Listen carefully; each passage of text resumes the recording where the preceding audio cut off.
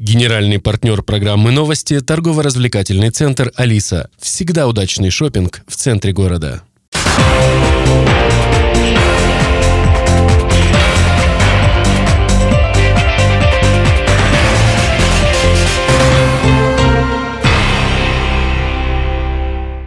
Эфир канала РЕН-ТВ продолжает новости Анапа регион. В студии Ирина Меркурьева. Здравствуйте. Смотрите сегодня в выпуске.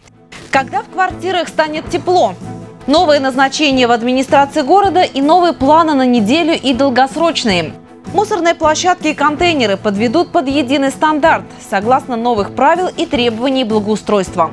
Встреча с Олегом Токтаровым. Именитый спортсмен и актер дал журналисту нашего канала эксклюзивное интервью. Об этих и других событиях расскажем прямо сейчас. В этом году осень прохладная. Обычно в октябре в Анапе еще можно купаться и загорать. Показания с термометров с отметкой плюс 10-12 градусов заставляют потеплее одеваться не только перед выходом на улицу, но и в помещениях. Так когда же в квартирах будет тепло?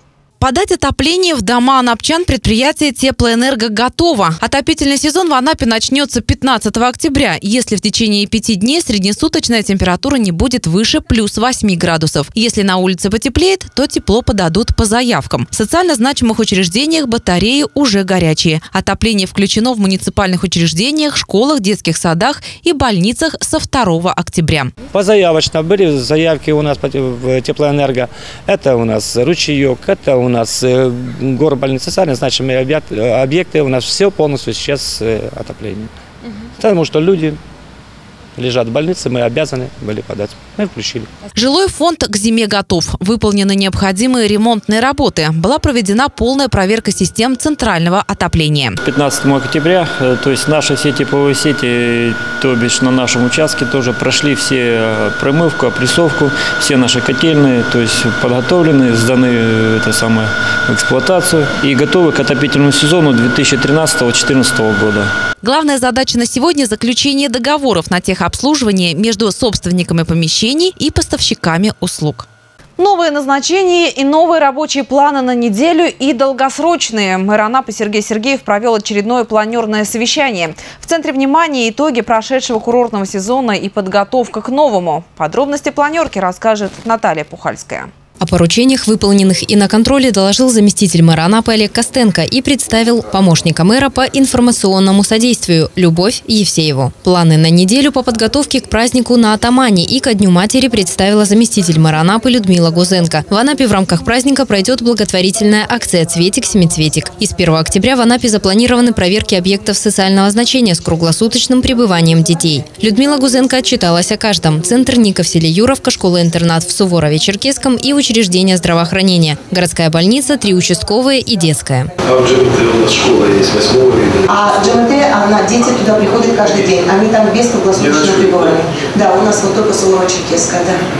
Хорошо. Заместитель начальника отдела полиции Андрей Раб отчитался о криминогенной обстановке в городе. Сотрудники полиции раскрыли 9 случаев краж имущества и транспорта, проверили 59 иностранных граждан. 21 привлекли к административной ответственности. Начальник миграционной службы Андрей Дубошин доложил о результатах работы своих подчиненных. Провели 8 профилактических мероприятий совместно с полицией и казачеством. Привлечено 5 человек административной ответственности за незаконную трудовую деятельность, 5 граждан России за предоставление это работы иностранным гражданам и два гражданина России за предоставление жилья незаконно находящимся иностранным гражданам. Сумма штрафов составила 52 тысячи рублей, все взыскания. Депортировали четырех гастарбайтеров, нарушивших условия и правила пребывания в России. Сергей Козлов объявил о начале работы осенней призывной комиссии и дал задание главам сельских округов подготовить молодых людей к ответственности, не превращать призыв в балаган. Служба в армии должна начинаться достойно. На этой неделе продолжат работу специалисты КУМИ сельскохозяйственного управления в двух сельских округах – Субсесском и Гайкадзорском. Инвентаризацию земельных участков уже провели. К концу года планируют отчитаться о результатах по всем населенным пунктам. Мэр Анапы Сергей Сергеев призвал чиновников, специалистов и начальников городских служб относиться к работе ответственно. В планах на неделю отчет всех служб по прошедшем летнем сезоне и подготовка к новому. По планам в Анапе будет новый пляж. По распоряжению мэра Анапы Сергея Сергеева в районе Малой бухты укрепят берег и оборудуют пляж для отдыха анапчан и гостей курорта. На повестке дня вопрос об участковых. 17 ноября будет 90 лет чему? Правильно, службе участковых. Давайте проведем конкурс. давайте выделим средства на поощрение лучших, но сразу секрет открою. Самая главная цель этого конкурса – это представление своих участковых населению. Итоги важного для Анапы инвестиционного форума в Сочи доложил начальник управления экономики инвестиций Евгений Пристовка. Руководитель э, аэровокзальных комплексов. Так вот, он выразил благодарность, Марина Юрьевна, я хочу подчеркнуть, вашей службе, что все вопросы, которые касались взаимодействия архитектуры и Елены Вячеславовны службы касались земли, никогда раньше так не решались. Он говорит, я даже подумал, что у руководителя Анапского аэропорта Николая Ивановича да, какие-то вот свои взаимоотношения сложились. Я говорю, да, сложились со мной, нормальные, деловые и так далее. Свои инвестиционные возможности город-курорт презентовал сразу на двух площадках. В общем павильоне, где расположились все муниципалитеты Кубани, и в выставочном зале, где были собраны лучшие предложения Краснодарского края для инвесторов России и зарубежья. Сергей Сергеев подписал 11 соглашений. Инвестиции составили 5 миллиардов 721 миллион рублей. Наталья Пухальская, Артем Зиборов, Анапа регион.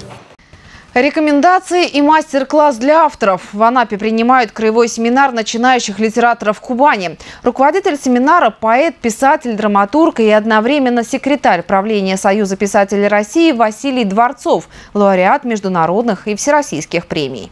Субботу, 5 октября, краевой семинар открыли в Центре культуры «Родина». На встрече молодые авторы познакомились с командой жюри. Пожелания, рекомендации и общие установки. В первый день семинара определили программу. С 11 до 18 часов в каминном зале «Родина» работала секция поэзии. Авторы прозаики презентовали свое творчество в Центральной детско-юношеской библиотеке. Вечером литераторы встретились в неформальной обстановке в литературной кофейне от А до Я, разбавив официальную атмосферу поэтическим фрешем. Новые требования благоустройства и новые нормы. В администрации города-курорта провели специальное совещание. Подробно рассказали руководителям предприятий, как должны выглядеть мусорные площадки и контейнеры, чтобы не портить внешний вид города и при этом соответствовать санитарным нормам. С докладом выступила исполняющая обязанности начальника управления ЖКХ Татьяна Буняк. В Анапе проводят мониторинг санитарного состояния, санитарной очистки благоустройства города и сельских округов. Специалисты комиссии отметили несколько недостатков и несоответствия облику и имиджу города. Выявили нарушение требований санитарного законодательства. Не решен вопрос с установкой и приведением в надлежащий вид контейнерных площадок. Они должны быть на расстоянии не менее 20 метров. В большинстве случаев контейнерные площадки деформированы. Целостность нарушена, многие без краски или ржавые, без обозначений, без крышек. А это причина дополнительного загрязнения окружающей территории. Еще одна проблема – у многих управляющих компаний нет договора на вывоз крупногабаритного мусора. Если бы наш регион был где-то дальний север, может быть, бы у нас с вами так острый вопрос не стоял.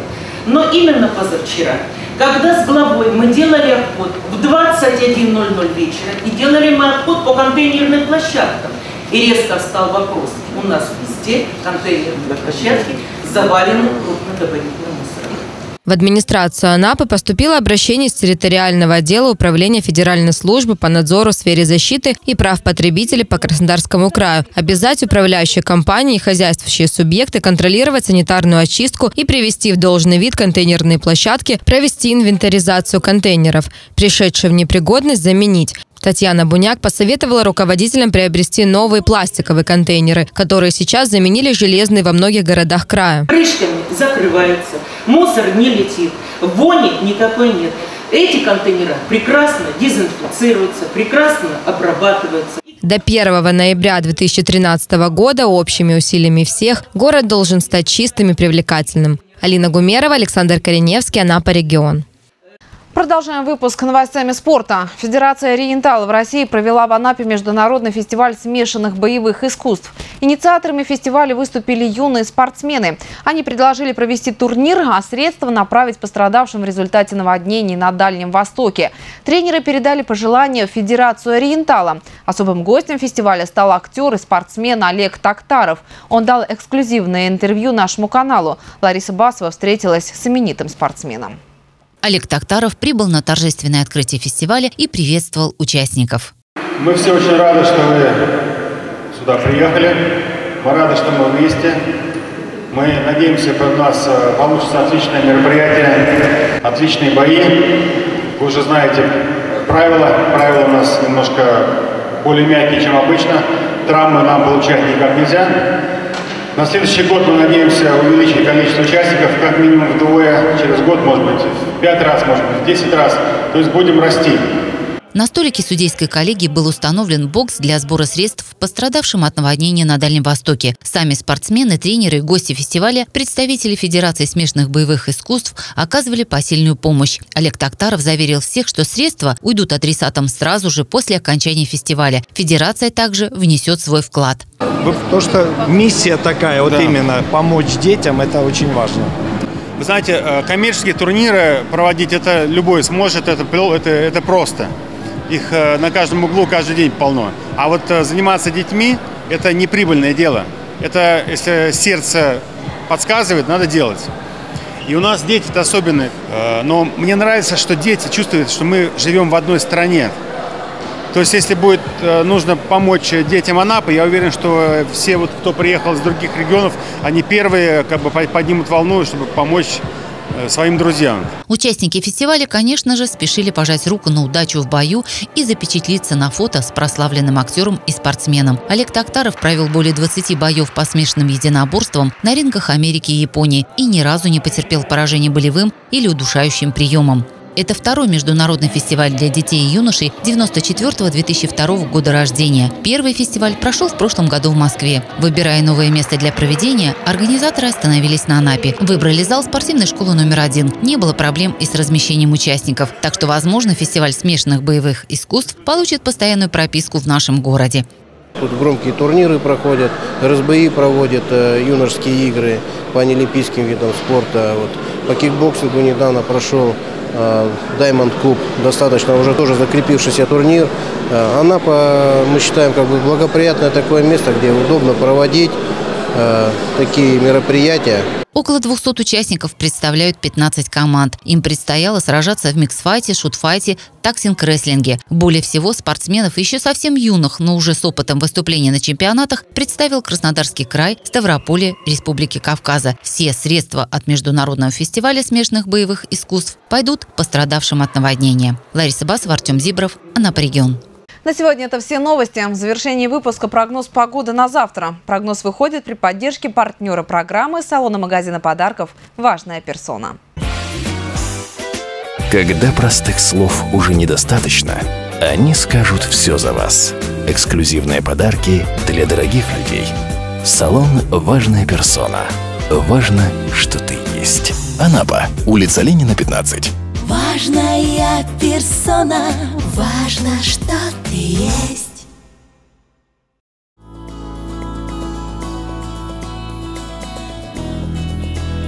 Во вторник, 8 октября в Анапе солнечно и ясно. Температура воздуха днем плюс 11-13, ночью до 9 градусов тепла.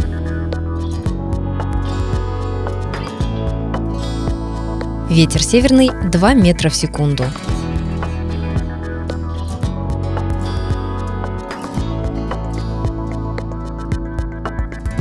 Атмосферное давление 755 мм ртутного столба.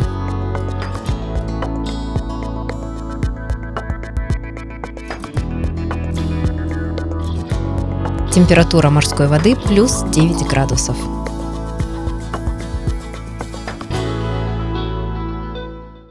Далее блок полезной информации от партнера программы торгово-развлекательного центра «Алиса». Эти и другие новости вы можете найти на нашем сайте. А я прощаюсь с вами. Увидимся завтра в это же время на канале РЕН-ТВ. До встречи. У каждого из нас свои желания. Кто-то любит шопинг, кто-то не любит шопинг. М-м. Кто-то любит играть. Fight. А кто-то любит себя. Торговый центр «Алиса» исполняет ваши желания –